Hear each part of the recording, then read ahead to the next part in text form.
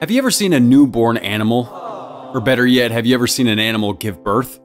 In nature, animals have many different ways of bringing life into the world, and they all vary greatly. We can't cover all of them today, but here are 15 crazy ways animals give birth. Don't be mistaken by this ocean swimmer's fish-like tendencies. Stingrays give birth to live young in litters of 5 to 13.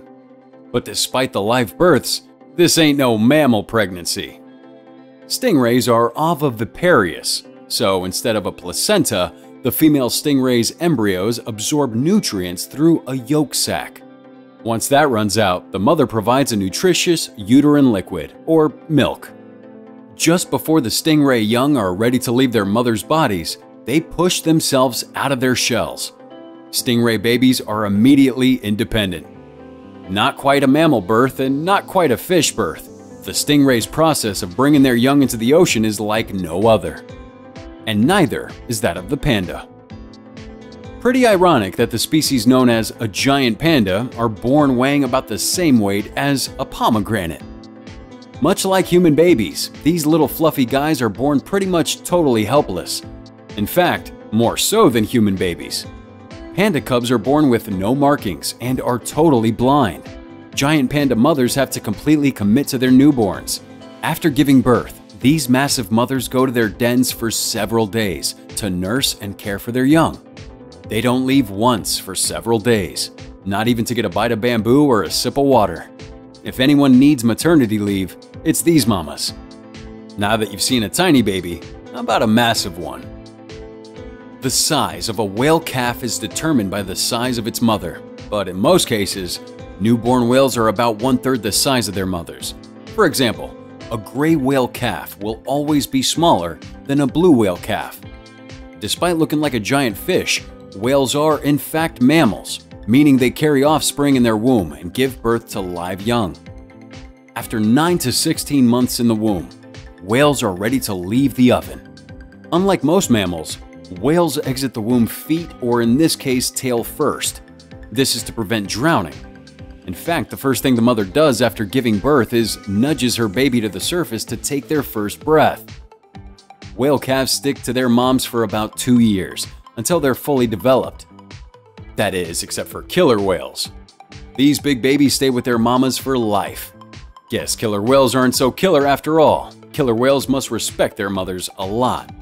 Giraffes certainly do. In fact, giraffes trust their mother's opinion so much that they choose to give birth in the exact location that their mother did, and that their mother's mother did.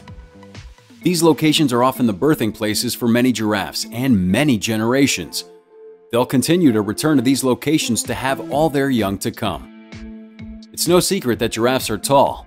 In fact, these long-legged creatures are the tallest mammal in the world. Because giraffe calves have such long spindly necks, their mothers have to give birth standing. Calves come out of the womb, head and front legs first, in a Superman position. At 6 feet tall, these newborns are probably about the same height as Clark Kent. But let's talk about an animal that's less Superman and more Aquaman.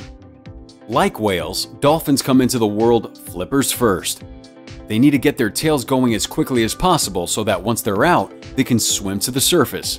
With a bit of nudging from mom, of course, these young dolphins have to fight to the surface to take their first breath. Dolphins only give birth to one child at a time, and these newborn dolphins have incredibly high mortality rates.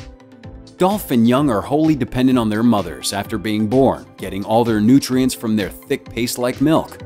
Dolphin Go-Gurt, anyone? Speaking of risky births, Imagine your intro to life was getting dropped from up to 3 feet off the ground.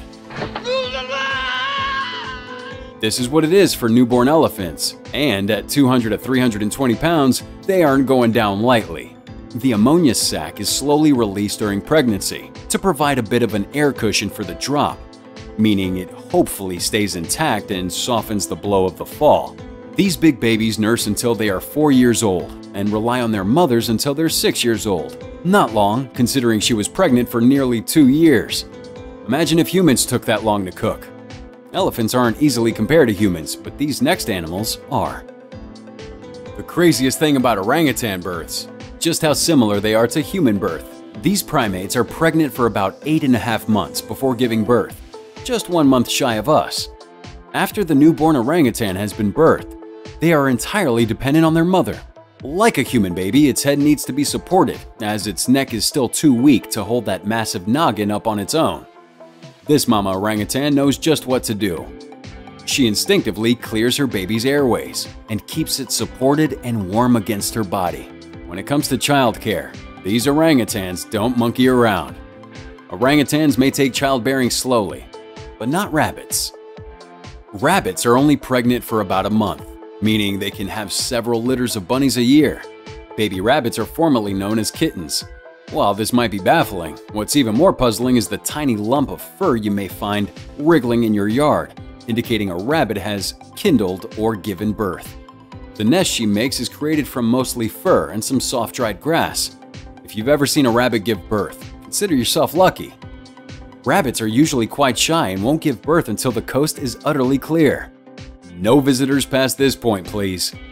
Speaking of animals who are weird about guests at their birth, let's talk about hedgehogs. When it comes to picky, these critters take the cake. Hedgehogs need the conditions to be just right during birth. If there's a disturbance right before or after the sow is given birth, it'll throw her completely off. How off, you ask? Well, enough to either move her young to an entirely new nest, or worse, eat them. To avoid having to eat her babies, the sow usually gives birth in the dead of night. Although each hedgehog's tolerance for disturbance is different, it's generally recognized that hedgehogs who are close to giving birth should be left alone at all costs. Furthermore, baby hedgehogs, or hoglets, shouldn't be handled until they're at least 7 days old. After all, friends don't want friends to eat their babies, and sometimes friends don't want friends to know they're pregnant. Tigers are the masters of stealthy pregnancy. Despite having a gestation period of about three and a half months, tiger mothers don't begin to show a belly bulge until the last 10 to 12 days of their pregnancy. During this time, she'll look for a cozy and secluded location to give birth. These big cats have an average of three cubs per litter, but can also have up to seven. Between litters, tigresses typically wait 18 to 24 months. Bet you didn't learn any of this watching Tiger King. But these aren't the only sly cats. Lionesses have one-upped the tigresses in terms of pregnancy privacy. These fierce moms keep their pregnancies as secretive as possible and wait until they're in labor to quietly sneak off from the pack to find a birthing location. After having her litter in her top secret lair, the lioness will stay away from the pack for about three months. So why are these big cats so secretive? The answer is pretty straightforward. They want their young to survive. After all, it's rough out there. It's estimated that a lioness must copulate 3,000 times for each cub that survives past a year. These cubs are super precious. Less intimidating, but just as protective, is the donkey mother. Like many animals on the list, donkeys prefer to give birth in the dead of night. After about 11 to 14 months of pregnancy, the mare is ready to give birth Signs of labor, or as it's called in the donkey world, foaling, include swollen udders and milk beginning to run, and restlessness. Watching for these signs is essential for farmers because foaling is a pretty quick process. Due to these animals' fragile necks, donkey foals leave their mother's wombs in a Superman stance, just like giraffes. That is, unless their mother is a giant fire-breathing dragon and these donkeys have wings. We're looking at you, Shrek 2. Sorry, we got off topic will stay on track, just like this next animal. Despite their generally refractive and unhinged behavior, squirrels have a very organized yearly baby-making schedule. Squirrel mating happens between December and February, just in time for Valentine's Day, and then again from June through August. With a gestation period of 38 to 46 days, newborn squirrels arrive just over a month after each of these mating periods. These squirrel babies, called kits or kittens, are born blind and spend the first two to three months of their lives depending on their mother for nutrients and care. They spend these months in one of two nests, the tree cavity den or the leaf nest. The tree cavity den looks coziest to us, but what do we know? We may be nuts. But we aren't squirrels. And we certainly aren't snakes. But these squirmy creatures are. While some snake babies hatch from eggs, other snakes give birth to live young. In fancy terms, this means that snakes' birthing patterns can be sorted into two categories, oviparous and viviparous, or sometimes a combination of both, known as ovoviviparous. The rosy boa that you see here is ovoviviparous. Oh, what a mouthful.